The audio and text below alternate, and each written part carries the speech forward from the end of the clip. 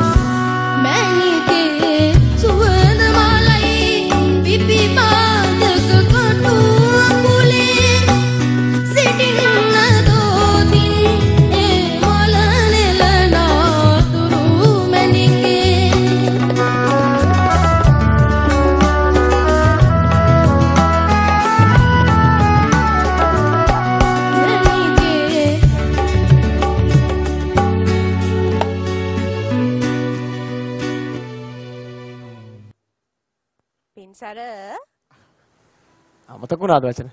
වචන වලට මොකද උනේ? නෑ නෑ ප්‍රශ්න නැහැ. නෑ. දෙන්නෙක් හැරිලා ඉවරයි. ඉවරයි වාක්.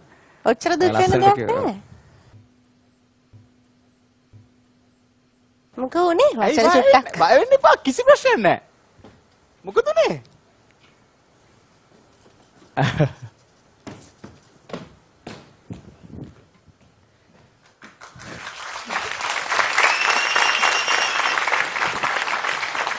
අනේ පුතේ අඬන්න එපා. දැන් අඬන්න මොකද උනේ? come on! අනේ ඇයි අඬන්නේ කියන්නේ? හොඳටම කියලා ඉවරයි. ඕකේ? මට මම මම. තේරුම් ගත්තා සුදු මැණිකේ මතක් වෙලා ඒ. පින්සර පුංචි ජෝතිපාල රටම කොච්චර ආදරද අයියෝ මේ සතුටට අඬන්නේ මෙයා. හරි හරි හරි. ඔක්කොම අමතකගෙන මම කතාවක් කියන්න. ආසයිද? කතා අහන්න ආසයිද? ඔව්. ඇත්තටමද කියන්නේ? ෂුවර්ද වාඩි වෙන්න මෙතනින් ඇවිත්. හරි. ඔන්න. එකමත් එක රටක හිටියා.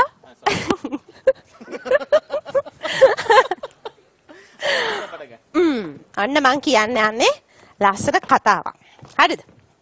දැන් තාම අඬන හින්දා තමයි මම එන්නේ. හරිද? ම්ම්. අයියෝ මේක ඇඳගෙන බෑත් එක්ක. ම්ම්. හරි. ඔන්න එකමත් එක රටක හිටියා ජෝතිපාල මහත්තයා කියලා එක්කෙනෙක්. හරිද? ඔන්න ඉතින් එක දවසක් අ, ජෝතිගී රාත්‍රිය කියලා ඒ දවස්වල තිබ්බ බොහොම ජයට මිනිස්සු වැල නොකැඩී ගිහිල්ලා බලපු ෂෝ එකක්. රුපියල් 10යි ඒ දවස්වල ටිකට් එක. හරිද? ඒ ටිකට් එකක් ගන්න රුපියල් 10ක් බොහොම අමාරුවෙන් එකතු කරගෙන ජෝති ප්‍රසංගය බලන්න ගියපු යාළුවෝ දෙන්නෙක් හිටියා. යනකොට මොකද වෙලා තියෙන්නේ අනේ මේ මේකත් එහෙරෙමෙට යනවා. මේ ටිකට්ස් ඉවර වෙලා. 50 ඒවා විතරයි තියෙන්නේ 10 ඒවා ඉවර වෙලා. දැන් මොකද කරන්නේ? එන්න රණ්ඩුවක් දැන් එතන. බෑ බෑ අපිට යන්න ඕනේ යන්න ඕනේ යන්න ඕනේ කියලා ගෑ ගහනවා. ඉතින් යන්න බෑනේ. ඉතින් මොකද කරන්නේ ජෝතිපාල මහත්තයා එනවා එළියට. ඔයා වගේ තමයි. ඇවිල්ලා ආ මොකද උදන කියලා අහනවා. බාන්නකෝ බුදු සර් මේ මනුස්සයා යන්න දෙන්නේ නැහනේ කියලා කිව්වා.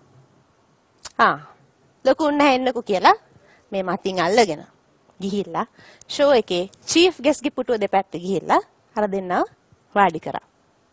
හරිද? අන්න ඒ හින්දා තමයි ජෝතිපාල මහත්තයාට ජනතාවගේ ගායකයා කියලා කියන්නේ. හෙට්ටිආරච්චිගේ රෙජිනෝල් ජෝතිපාල. මට හිතෙනවා ඔයා පුංචි ජෝතිපාල කෙනෙක්. මොකද පුංචි ජෝති වෙන්න මේ පුංචි ශ්‍රී ලංකාවේ. කවදා හරි දවසක. ඔයාට එක් කරන්න පුළුවන්.